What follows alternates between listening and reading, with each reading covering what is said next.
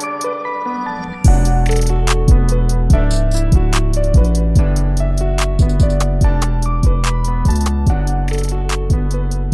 what's up guys? Welcome back to the JavaFX tutorial series. This time I'm going to teach you how to make your very own JavaFX application, okay? How to make, you know, JavaFX application classes. So that's what I'll be showing you today.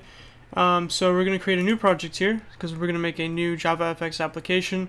We're to start from we're to start fresh because it's good to get that repetition down so you know what to do every time to make a new uh, JavaFX application. So what we want to do here is call it let's call it something like let's do a Java FX application okay? And that's going to create a new Java FX application for us. And um, so we can uh, open this up here see what we got same thing as last time as you can see here. And um, so we're going to go into our project structure here and add the you know the library for JavaFX so that we can use it and stuff like that. Um, so source, uh, oh wait, wrong place, go here, find, just find where you put it of course, make sure you watch last episode if you haven't already, um, so lib, and then there we go, now we add it to the project here, so apply, and then just give me a second, I'm going to add the configuration. Alright, so I added all these stuff, all the configuration options and everything like that, like we did last episode, so I'm going to run this to see if it works first of all before we do anything else. Okay, it's building, parsing, running, finishing, and boom, now we get our first little application here. Uh, you know, a quick little sample that lets us have a template. So what we're going to do here is delete everything because we want to start fresh. I'm going to show you how to start from the ground up, how to make an application rather than, you know, copy someone else's code like it's doing right here. So just delete this. Um, probably don't even need this. Let's delete it. Boom, there we go. So we can delete this package too. Just start completely fresh in the source folder. So the first thing I'm going to do here is create a new Java class. It's going to be our main class here. So it's going to hold our um, public static main args, public static main. There we go. Oops. And of course main, what we're going to have inside of here, just to test it out, we'll say hello.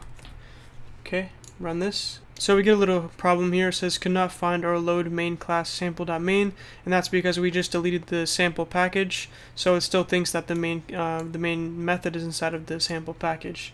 So we need to go here to our configuration, edit it, and then just change this, get rid of the sample package, and then there we go. So this is basically just showing our um, IDE where to find the main method. So it's going to be within the main class. Okay. So there we go. Apply. Now we can run this, and then we get hello. So that works perfectly. So now let's say we want to make a JavaFX application. Let's say we want to make a GUI of some sort, okay? So we can do that by just making a new class and extending the application class from JavaFX. So there's two ways to do that. We can put it inside of here if we want to. We can just use the main class to make our new application, or we can just pretty much make a totally new class that's going to represent our JavaFX application. In my opinion, that's a better option because it's more structured that way. So we can go ahead and make a new class here. We're going to call it uh, JavaFX. Now we're going to call it my first application like that okay so this is going to represent our first application and like I said it has to extend the application class. And make sure you import the correct one. Make sure you import the one from JavaFX. There we go. So now we imported that but we still have an error here because we need to implement an a abstract method here. So we can just do public and just uh, public and then oops. And just look down here and there's a method here called start. So we can just double click this if we want to or type it out whatever you want to do.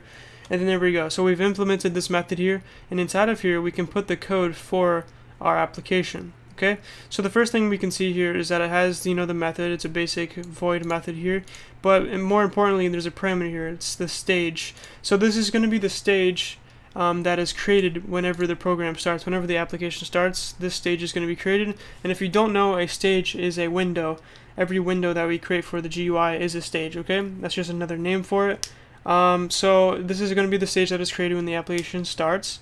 And of course this is the start method. So this is going to be the method that starts, or the method that runs whenever this application, this class here runs itself, okay? So we'll get a better example of that in a second. But first let's add some code here. So what it's doing here, as soon as we run this method, it's going to create a new stage for us to use. So we don't have to create it manually by doing something like this, stage, stage 2 is equal to new stage. We don't have to create an actual instance of it, it's doing it for us. So we can simply do stage dot and then we can you know change some properties of the window. Of course changes for a window like I said. So we can give the window a title. We can say hello world. Okay something like that. And if you're and don't worry about that. We're going to be learning about the methods that we can work with in stages and stuff like that next episode that's when we're going to work with the stages okay so don't worry about that so one more thing before we run the program for a window to actually show up for a stage to show up on the screen when we run the program we have to do stage dot show Otherwise, it's just going to be invisible pretty much, and the window's not going to pop up, okay? So now if we want to run this, let's see what happens when we run this. Build, boom, and nothing happens. It just has a blank output here because, of course, there's nothing in the main thing, the main uh, method here. So what we need to do here is run our application, and we can do that really simply just by doing application um, JavaFX application launch, okay? And this is going to be a static method that the application class offers so that you can run any application class for your, you know, your program, okay? So we can simply just, for the first parameter, just provide a application like we have here. So we have this application class. So all we got to do is do my first application dot class. So we're just providing the class so it knows where to find it, where to launch it, and then after that we just put args. So this is going to be the launch arguments if you know anything about that but you don't really have to worry about that for now, okay? So this is very simple. All it's doing is, you know, before we ran it and nothing happened, so this time it's actually going to do the launch method here, which is going to launch our application and hopefully open a window here that we named hello world, okay? So let's try running this and see what happens. So boom, we get a window here. Pretty cool, right? So it says hello world, which is exactly what we named it within the um, application class here that we made. So that's perfect. It named it perfectly. Um, so yeah, it also show we have to use show, or this wouldn't have popped up in the first place. So pretty simple, and then we can close this, and as soon as we close it, the application finishes, or the program finishes, I mean. So pretty cool, it's all very smooth. And so that's a very simple way to make a application, how to make a Java how to make a JavaFX application. All you gotta do is make a, a new class that extends the application class, and then it has to of course implement the start method because it's abstract, okay? So it's a very simple process, I know, but um, there's two other methods that we can use, um, we can override within this application class here. So the first one is going to be called the init method. So it stands for initialization, of course. So we can do public void init and just tab it to autocomplete. And so inside of here, we can put any code that we want to put. So I'm to just put output statement and it says before. So what this is for this is going to be the method that is run before the start method runs, before the application even starts. This method here is going to run, and then whatever code is inside that method obviously is going to run, okay?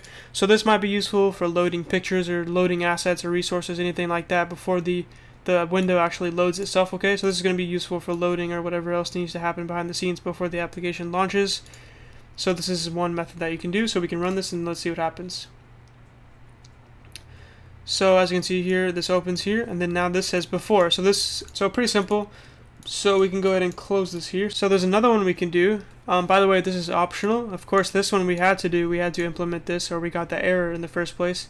But this one, of course, is um, is optional. Okay, it's not abstract. I don't believe, but we can override it. Okay. So there's another one we can actually do, which is going to be the opposite of the initialization method. It's going to be the stop method. So public void stop. So this is going to be, I'm sure you can guess, it's going to be the method that is run after the application is stopped, okay? So this one runs before it starts, and this one's going to run after this one is run. So it's going to be in order, basically. This runs first, and then after this one's done, this one's going to run, and then after this one's done, this one's going to run, okay? Very uh, structured here. So what we're going to do here is put after, so this is how we're going to know that it's done running, basically. Our application is done running, so we can run this and let's see what happens. So right, off the bat, it prints out before, like it did before, and then the application window opens, right? But nothing else happens inside the console. It doesn't actually print out after like we told it to, right? And that's because I told you this method does not run until the application is done running. It's the stop method, right? So when we stop the application, then it's going to run, and then it says after, just like it did right there, okay?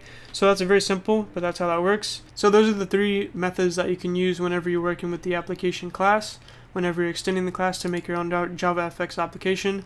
So hope you hope you like that. So one more thing I want to show you before we go is like I said before, you can just simply extend the main method here or the main class um, this is like a you know a more simple way to do it. So we can extend application here instead of making a whole class like we did a second ago. So we can just pretty much um, copy this if we want to. Control X, I mean to cut it. Then we can just go here if we want and just, uh, well, we're not going to put it inside of the main method. We're going to put it outside of here. So this is all going to be the code that goes in there. And then after that, we can use the main method to launch our program. And instead of typing all this, we can simply type launch by itself because it knows that, um, well, the main method is part of this application now. This has become an application because we're extending application. So yeah, it knows that um, it's part of it, so we can simply type launch instead of application.launch, right? So hopefully that makes sense. So we can run this and it's going to do the same exact thing except that, oh we have a problem here because let's just delete this pretty much. So delete and then yeah let's run this. Then the same thing is going to do, and the same thing is going to happen as last time because of course we're doing the same thing. We're just making a simple JavaFX application except this time we're just extending the main class and um, pretty much having the main method within that main class. So it's all together pretty much. But more realistically, you're going to want to have everything in different classes, you know, to provide some structure and stuff like that, okay? So hopefully that makes sense for you. So that's pretty much it. That's how you make a JavaFX application with the application class. If you have any questions about what I showed you today, you can ask me in the comment section below, or you can join our Discord and ask questions there. We have a lot of people who can help you. So the Discord link is in the description for you if you want to check that out and join it. Also, all the code from today's episode is going to be in the description below, so make sure you click that. It's going to take you to a repository, so you can bookmark that for future use in case you forget how to do any of this. So just make sure you do that. So yeah, that's pretty much it for this episode. Um, next episode, like I said, we're going to be going over the stages, which is basically um, more info on how to make windows. Okay, we're going to be able to make more windows. We can make multiple windows if we want to. And then we can customize the windows um, with methods and stuff like that. So hopefully you like that. Hopefully you're excited for that. So stay tuned. So if you like this video, leave a like. If you need to see more, subscribe. And peace.